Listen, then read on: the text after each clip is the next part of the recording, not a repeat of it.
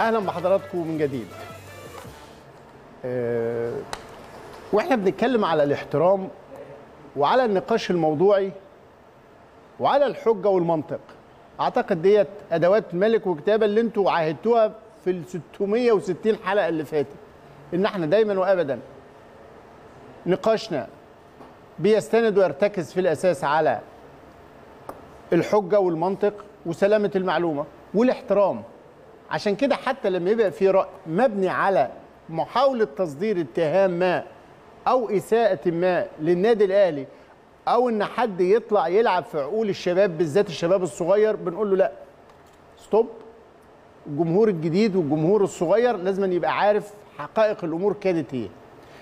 الزميل العزيز الأستاذ أحمد عفيفي طلع قال حاجة حاول من خلالها تصدير اللي أنا هقوله لكم تقريبا نص الكلام.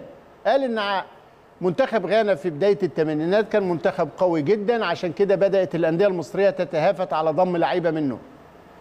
الزمالك جاب إيمانويل كوارشي المقاولين جاب عبد الرزاق كريم وبيل أنطوان حارس المرمى الكاميروني والنادي الأهلي جاب جورج الحسن. قال الأستاذ أحمد عفيفي إنه الزمالك مع كوارشي جاب بطولة الدوري وجاب بطولة أفريقيا. المقاولين مع عبد الرزاق كريم ومع بيل أنطوان جاب بطولة دوري وجاب بطولة أفريقيا. وجورج الحسن فشل مع الأهلي. فقال عشان كده في السنة التالية على طول كان قرار إنهاء وجود اللعيبة الأجانب في الأهلي في مصر.